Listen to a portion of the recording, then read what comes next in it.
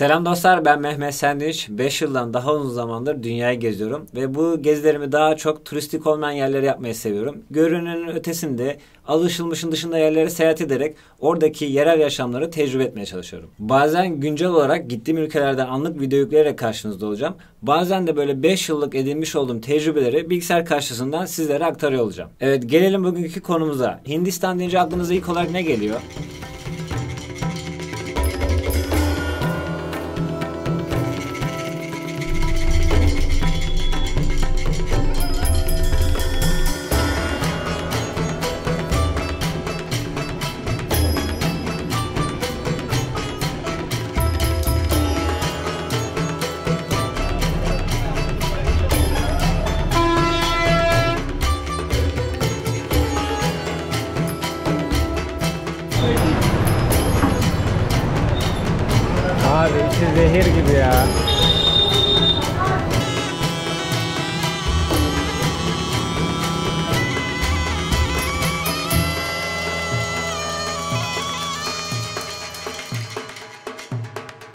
Çoğunuzun aklına böyle görüntüler geldi. Hindistan deyince genelde aklımızda böyle kirli sokaklar, sokak yemekleri, ilginç insanlar ya da ilginç inanışlar geliyordu. Ama biz bu bölümde bunlara girmeyeceğiz. Çok daha farklı, bu zamana kadar belki hiç görmediğiniz şekilde size Hindistan'ı anlatmaya çalışacağım.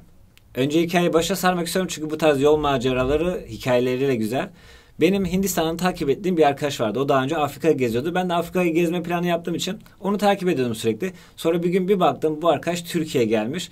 Ben de hemen o sırada anneme ve babama mesaj attım. Anne dedim Hintli bir tane arkadaş Türkiye'ye gelmiş. Dedim onlara Türk yemekleri yapar mısınız? Ona Türkiye'yi tanıtır mısınız dedim. Annem de babam da sağ olsun kabul etti. Ben de hemen o Hintli arkadaşa mesaj attım. Bak dedim Türk yemeklerini merak ediyorsan, Türk aile yapısını merak ediyorsan annem babam seni bekliyor. Bize gidebilirsin dedim. İsmi Garima'ydı arkadaşın. O da kabul etti ve kalktı gitti bizim eve. Ne annem İngilizce biliyor ne babam İngilizce biliyor ama sağ olsunlar çok güzel Türk örf ve adetlerini tanıtmışlar. Türk yemeklerini ikram etmişler. Hatta Garima'nın çektiği bir video vardı. O yemekleri denediği sahnelerden de şuraya bir görüntü koyayım. And इसको भाई फिर पान की तरह रैप करते हैं जी कोफ्ते भी आप ऐसे ही खा सकते हो और इसके बाद क्वेश्चन शुरू करती हूँ आंटी से तो सबसे पहले Karıma hoş geldin. Seni tanımaktan memnun oldum. Afiyet olsun. Türk yemekleri. ये आंटी ने भाई ये सारा इतना खाना बनाया बहुत मस्त ये दाल है लेंटिल सूप है ये भाई दही है और खीर है ये मैंने मंगवाया चावल और ये है चना यहाँ पे ठीक है लोग ऊँचा बोलते हैं सब हंस के बात कर रहे हैं तो सही है एक number Garima da daha sonra beni kendi ülkesine davet etti. Hindistan'a gelir misin dedi. Seni köyüme götüreyim. Bizim yemekleri ye. Bizim köyü gez. Orada bir sürü ilginç şey var. Gel sen de bizim köyde biraz gez demişti. Ben de birkaç ay sonra Hindistan'a gittim ama Hindistan'a gitmeden önce de bir şey yaptım. Garima Türk kahvesini çok sevmişti. Ben de yanıma bolca Türk kahvesi aldım ve Hindistan'a onun yanına götürdüm. Garima'nın köyüne ulaşmak kolay olmadı. Önce trene bindim, sonra otobüse bindim, sonra otostop çektim. Bir şekilde Garima'nın köyüne vardım. Çünkü Garima Hindistan'ın orta doğusunda Orissa diye bir eyalette Bengal körfezine yakın bir yerde dağlarda yaşıyor.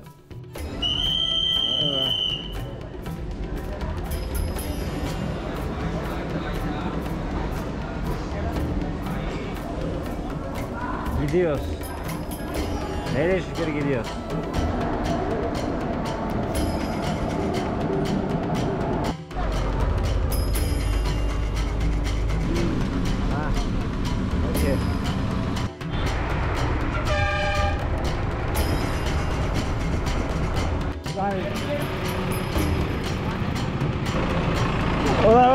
Ulan oğlum kepçeye odası çektik. Abi kepçeye kepçeye odası çektik arkadaşlar ya.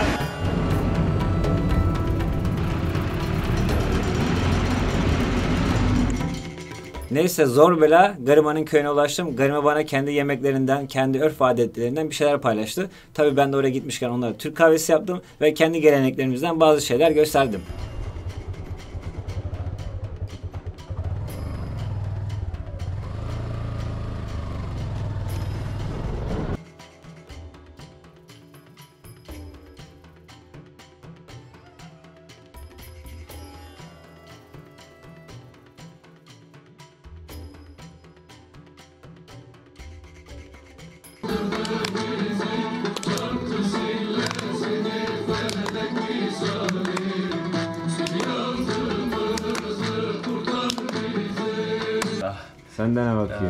ഇവിടുത്തെ Turkish coffee try ചെയ്തതാണ് ഭയങ്കര ഹാർഡാണ് കേട്ടോ ഞാൻ മുമ്പ് ടേസ്റ്റ് എനിക്ക് തോന്നുന്നു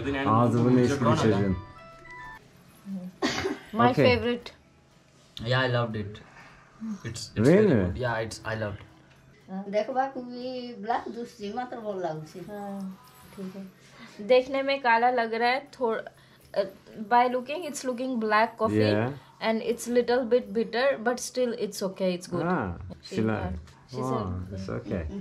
Garima ve arkadaşlar önce bana köylerini gezdirdi. Köylerini gezerken çok ilginç bir ana tanıklık ettim. Orada dağlarda yaşayan baba adını verdikleri aynen bizde Türkçe'de söylediği gibi onlar da Hintçe'de baba adını verdikleri din adamları var. Üç tane din adamı dağın en tepesinde uçurumun kenarında kendilerine bir yaşam kurmuşlar ve burada beraber yaşıyorlar. Buradaki yerli halk bu insanların şifalı olduğunu inanıyor ve ne zaman hasta olsalar bu babalara gidip şifa buluyorlarmış. Bunlarla birkaç saat geçirdikten sonra da orada bulunan bir şelaleye gittik.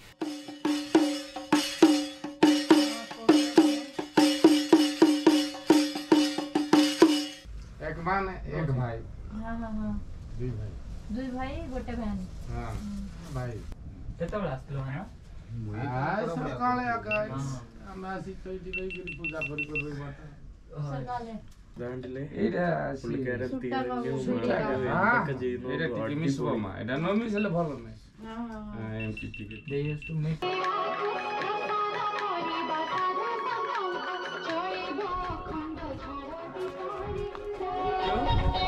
We have to just move. We have to move like this.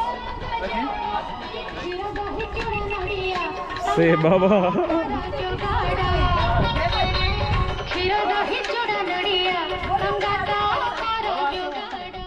Hindistan'ın böyle yerel noktalarında evlerde su imkanı bol değil. O yüzden insanlar çamaşırlarını ve duş alma ihtiyaçlarını buradaki nehirlerde gerçekleştiriyorlar. Ben de orada duş aldım, ben de orada çamaşırlarımı yıkadım. Ondan sonra da o gecenin akşamında ormanlarda kaplanların yaşadığını bildiğimiz halde orada arkadaşlarla bir gece kamp yaptık.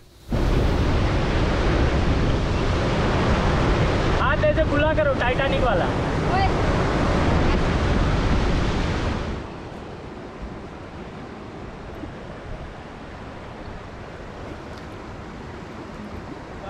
Abi su kirli gibi görünüyor ama kirli değil aslında. Yani burada yerleşim yok, şehir yok, bir şey yok. Girdik suya.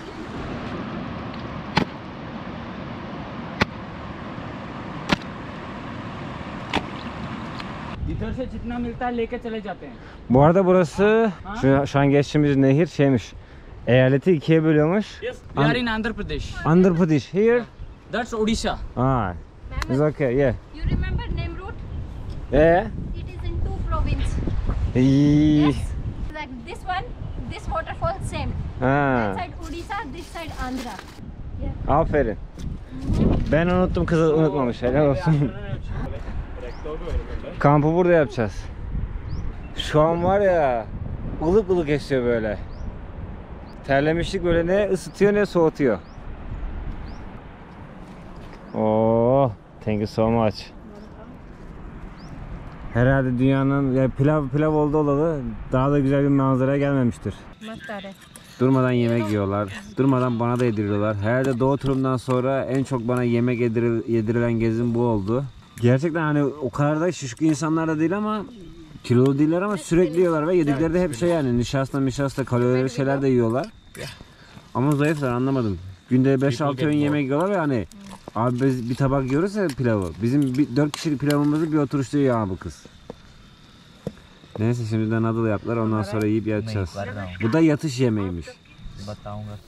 Ve videonun asıl konusu şimdi başlıyor. Burada çok ilginç bir kabileye ziyarete gitmeye çalıştım. Ama sandığım kadar kolay olmadı. Çünkü bu kabile 6-7 bin yıl önce Afrika'dan buraya gelmiş ama geldikleri gibi yaşamaya devam etmişler. Yani tiplerine bakınca göreceksiniz aynı Afrikalı gibi. Boyunlarına taktığı takılar, üstüne giydiği kıyafetler aynı Afrikalı gibi.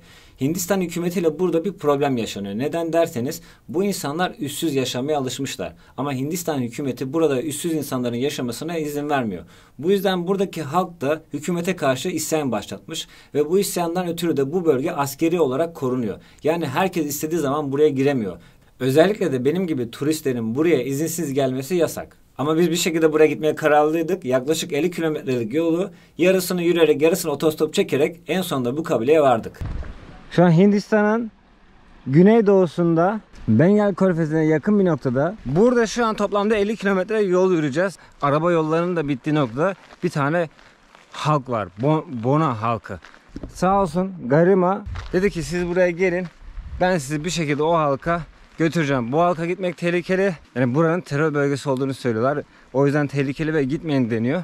Ama biz ona rağmen sabah erkenden kalktık 6'da yola düştük. Ve bu Bona halkını görmeye, tanımaya ve size anlatmaya çalışacağım.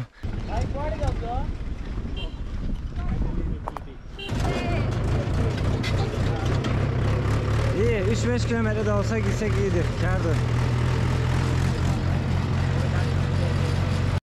Şimdi köye girdim ben. Askeriye geçtik ama sivil polisler bizi yakaladı. Ben de o sırada uzaktaydım konuşmuyordum. İşte şey dedi arkadaşı demiş.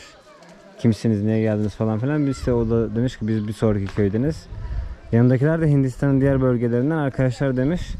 Onlar da Hintli demiş. Beni de Hintli diyor. Yani turist yok değil mi demiş. Yok demiş. Zaten tipten Hindistanlı'ya benzediği için sorun yaşamayacağız. Sivil polisler de bana bir şey sormadan gittiler. Bu gördüğünüz kabilelerin bazı özellikleri var. Saçları kısa kadınlar evli demek. Saçları uzunlar ise ya dul ya da henüz evlenmemiş kızlar. Burada da aynı bizdeki gibi başlık parası denen bir sistem var ama başlık parası olarak inek veriyorlar. Kadınların boynunda gördüğünüz o geniş halkaların tam olarak neden takıldığı bilinmiyor. Ama şöyle bir düşünce var. Vahşi doğada yaşadıkları için avcı hayvanların onlara saldırıp boğmalarını engellemek için böyle geniş halkalı kolyeler kullanıyorlar.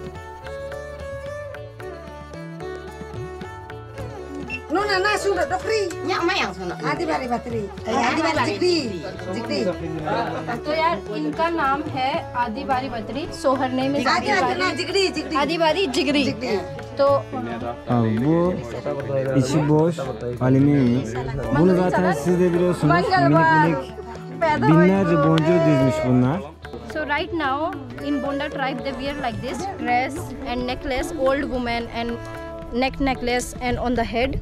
Like this and uh, down like this. Okay, but uh, 20 years before, 10 years before, they used to cover their chest only with necklace, nothing on the top, and only mini skirt till here. That was called in their traditional language ringa. Ringa was known as their traditional skirt. Yeah, make it home. You see, make home.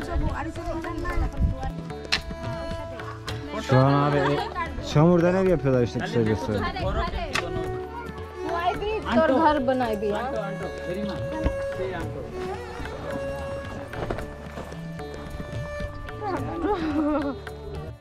Abi 3 yaşındaki çocuk da çalışıyor, 60 yaşındaki adam da. Evin yanına hemen şey yaşıyorlar, çukur yaşıyorlar, su döküyorlar. Ondan sonra çamura buluyorlar. Sonra ev oluyor.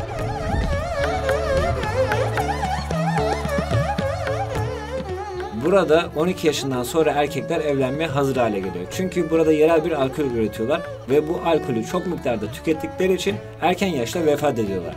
Bu sebeple bölgede erkek nüfusu az, bu yüzden de kadınlar evlenecek erkek bulamadığı için daha küçük yaştaki erkeklerle evlenmeye başlamış. Bu halk hala yarı avcı toplayıcı şekilde yaşamaya devam ediyor. Ormana gidiyor, meyve sebze topluyor ya da yabani hayvan avlayıp onları köylerine getirip pişirip yiyorlar. Köyde karşılaşabileceğimiz ilginç durumlardan bir tanesinde 7 tane isim var. Kim hangi gün doğarsa ona o isim veriliyor. Hindistan'ın birkaç tane dağlık kabilesinde yaşıyorlar ve nüfusları sadece 25 bin. Bölgede Gufam adını verdikleri aynı bizdeki ağalık sistemine benzeyen bir sistem var. Burada bütün topraklar bir aileye ait ve bütün köylerde o ailenin çalışanı ve bu aile sadece onlara yiyebilecekleri kadar yiyecek veriyor. Bu halk animist bu halk ve ilginç inançları var. Ölülerini yakıyorlar. Vahşi hayvanlar yemesin diye ölülerini yakıyorlar ve ölü yandıktan sonra göğüs kemiğinden kalan bir parça taşa çarpıyorlar. Eğer bu göğüs kemiği taşa vurduklarında toz haline gelirse şuna inanıyorlar. Ya birisi ona büyü yaptı ya da birileri onu zehirledi. Bu dakikadan sonra köyün büyücüleri toplanıyor ve o ölen kişiye kimin büyü yaptığını bulmaya çalışıyorlar. Eğer büyüyü kimin yaptığını bulurlarsa onu cezalandırıyorlar.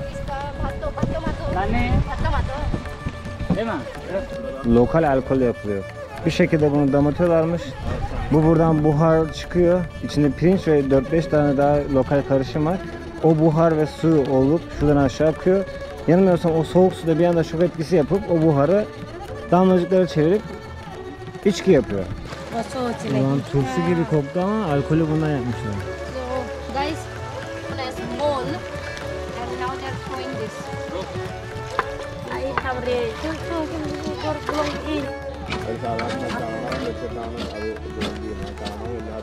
After uh, three months, rain coming. Warm, raining, no wood. So collecting wood for six months food. Aldemin tencerede bu yaptıkları şey öncesinde burada kurutuyorlarmış bakın. Sonra alkol yapıyorlar.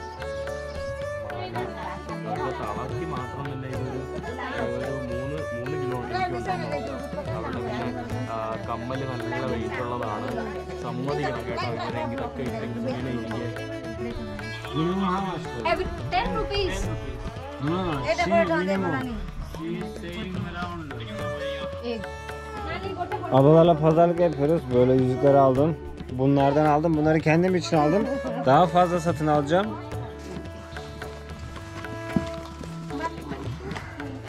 किसने बनाया पूछ तो किसने बनाया है नहीं गोटे दरकार नहीं किसने It's okay. Abi önceden sadece bu kadarmış. Öyle. Çiçekleri de şey düşünmeyin. Böyle kapatıyorlarmış. Bir de üstüne o boncuklar. Göğüs kısmını boncuklar kapatılmış, poposunu da bu. Gai maso? Gai. So guys, this is the traditional way they kill the animal and they put in the sun on top of terrace to dry the meat. Traditionally, for the monsoon season. Because in monsoon everything is wet so they don't have no food nothing. Şimdi ya, yaptıkları alkolü denetecekler.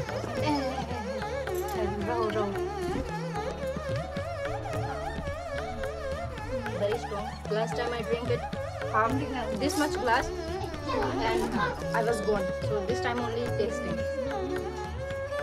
Tata bye. No understand bye bye no bye bye Really? yes no bye bye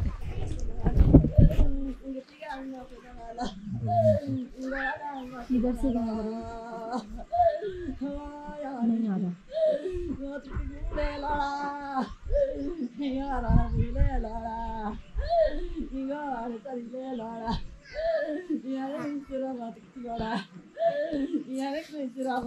son